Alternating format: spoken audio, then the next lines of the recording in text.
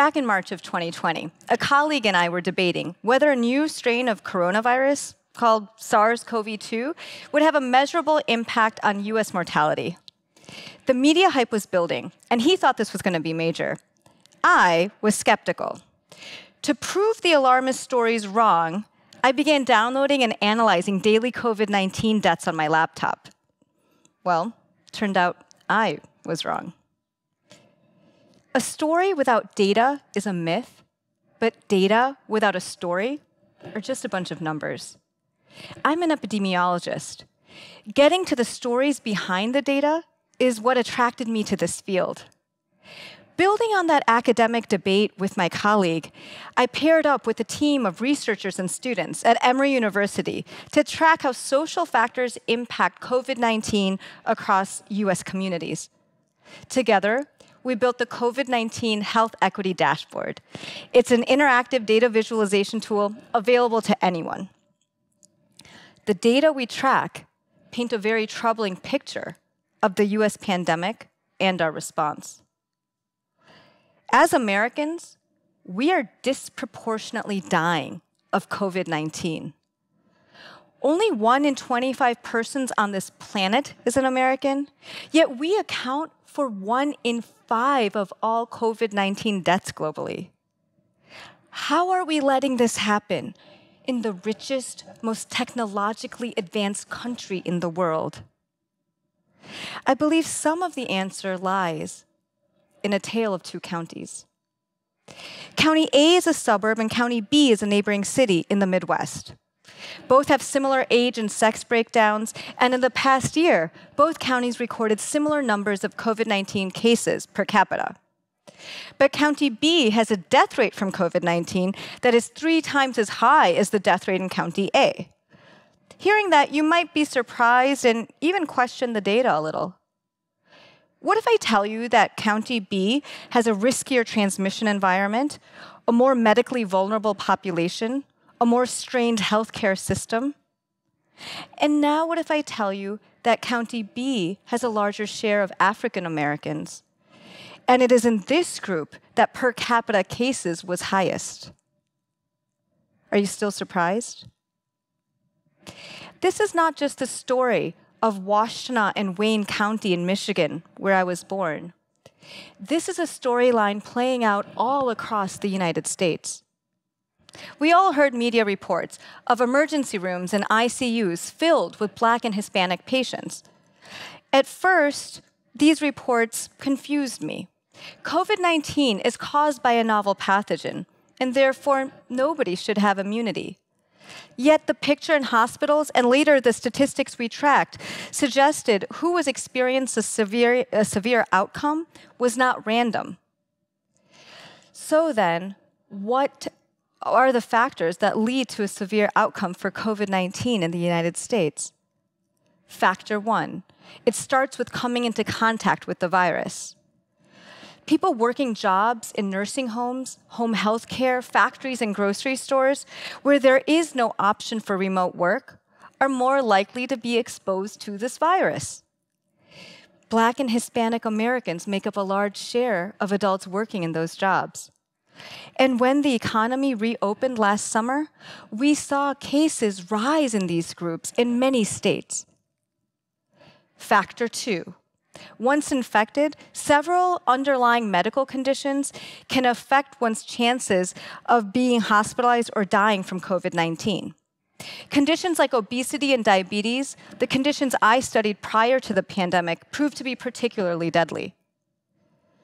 Black, Hispanic, and Native Americans are more likely to have several of these conditions. And as an aside, it's not our genetics that really matter for disparities in these conditions. The research shows that it's social factors like income, education, and access to healthy foods that play a larger role. And that brings me to factor three. Once someone experiences severe symptoms from COVID 19, that person needs treatments that only hospitals can provide. In a pandemic, access to timely and high quality healthcare is a life and death issue. Black, Hispanic, and Native Americans are less likely to be insured. And even when insured, they're more likely to live in areas with low quality health care. These three contributors to fatal COVID 19 outcomes cluster in communities of color, making some Americans vulnerable multiple times over. An effective pandemic response means that we acknowledge this as we allocate health resources. It means that we allocate these resources equitably. Now, equity is a term you're probably hearing a lot these days, and I get asked about the difference between equity and equality. On the left hand side, we have an equal allocation system. In this system, everyone gets the same crate regardless of where one stands. You can see why that's problematic. On the right hand side, we have an equitable allocation system. Everyone gets the crate needed to achieve the goal. Equity is often discussed as a concept grounded in fairness, and that's important. But equity is not just about fairness. In a pandemic, equity is about effectiveness. Let's take the US COVID 19 vaccine campaign, for example. As a nation, our first priority was to protect Americans working in high risk occupations and protect Americans vulnerable to severe disease a public health re response that's successful would be proportionate to these needs. And by either measure, virus exposure or disease vulnerability, we would expect communities of color to be prioritized. Yet, three months into the vaccination campaign, Black and Hispanic Americans are lagging behind. We hear a lot about vaccine hesitancy in communities of color, and certainly that's a contributing factor. But vaccine hesitancy alone can account for this disparity. So, beyond motivation to get vaccinated, let's talk about what it takes to get your shot in America. You need internet access or a lot of time to wait on the phone to fill out complex forms and navigate a fragmented appointment system. Black and Hispanic households are less likely to have high speed internet. You need to be able to get to a vaccination center. In most of America, that means owning a car or knowing someone who does. Black and Hispanic households are less likely to own a vehicle. And in the South, they typically have farther to travel to get to one of these sites. And you need time off of work, not just to get to the center, but sometimes wait for hours in line once there. Thinking back to the types of jobs that many Black and Hispanic Americans have, time off of work is at the discretion of the employer and not the employee. It can also come with a financial hit. The emergent picture is one of multiple intersecting systemic barriers that predate the pandemic. It's about a history of social and economic exclusion that has impacted the access to life saving infrastructure, especially among Black, Hispanic, and Native Americans. But what happened in some communities of color early in the pandemic was a warning sign for the entire nation. Since last August, cases and deaths have been rising in rural America.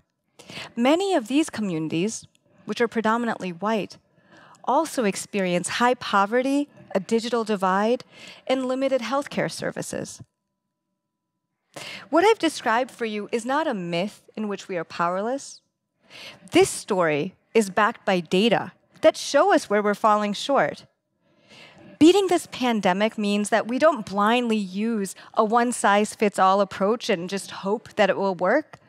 Beating this pandemic means that we use the data to guide us on how we best leverage our vast technological and financial resources to head on address the barriers we've been talking about. That's equity. Now, some of you might be thinking that the only kind of equity that directly affects you is the type that involves your line of credit. I'm going to ask you to think again, because equity is not just about helping the disadvantaged. If the virus continues at high levels of circulation, we all have greater chance of coming into a contact with a new variant that threatens our past progress. We all face the possibility of intermittent economic shutdowns and travel restrictions. If hospitals run out of beds or ventilators because of stretched healthcare capacity, that might affect your chances of survival should you ever have the misfortune of needing these services. So, why then do we leave equity to the social justice warriors? Why isn't equity everybody's business? Where we go from here is in all of our hands. It's on all of us to drive conversations on how and whether we weave equity into a rethink of our health policies, our economy, our schools, and our communities at large. I call upon the TEDx community to seize this critical moment in America's history and imagine a new narrative for America, an America with no fence, an America in which all of us can thrive no matter where we live. Thank you.